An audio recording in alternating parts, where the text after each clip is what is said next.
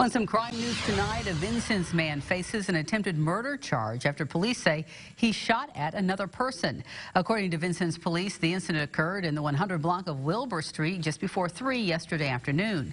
Police arrested 26-year-old Gavin Willoughby. Police say the intended victim was not